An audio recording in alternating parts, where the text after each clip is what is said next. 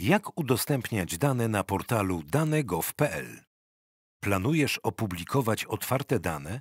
Zacznij od zarejestrowania się w portalu i zapoznania z przewodnikiem dla dostawców, dostępnym w bazie wiedzy. Skontaktuj się z administratorem portalu, aby otrzymać uprawnienia edytora. Jeżeli Twoja instytucja nie udostępniała wcześniej danych w portalu, prześlij administratorowi informacje niezbędne do założenia profilu dostawcy. Po uzyskaniu uprawnień i zalogowaniu się, wejdź w panel administratora oraz w menu po lewej stronie wybierz pozycję Dane, a następnie Zbiory danych. Po kliknięciu w przycisk Dodaj zbiór danych wyświetli się formularz dodawania zbioru danych. Uzupełnij w zakładce Ogólne podstawowe dane o zbiorze, takie jak tytuł, opis, kategoria i przejdź do kolejnych zakładek Warunki i słowa kluczowe.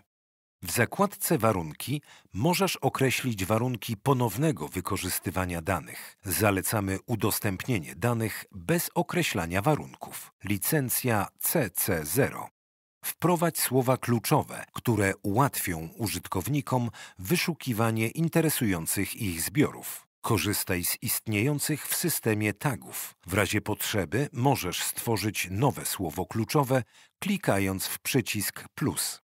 Po kliknięciu w zakładkę Zasoby zobaczysz listę danych związaną ze zbiorem danych. Poniżej jest dostępny link Dodaj zasób, przy pomocy którego możesz dodawać do zbioru danych nowe dane.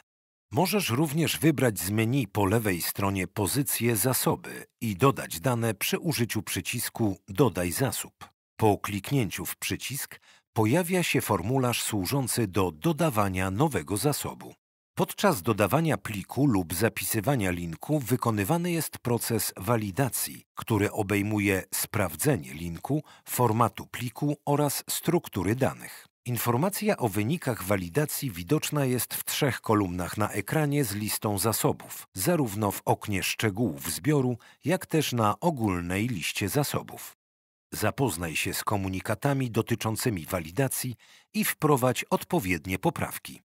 Zadbaj o jak najlepsze przygotowanie danych. W ten sposób ułatwisz ich ponowne wykorzystywanie, np. w raportach, pracach naukowych, aplikacjach.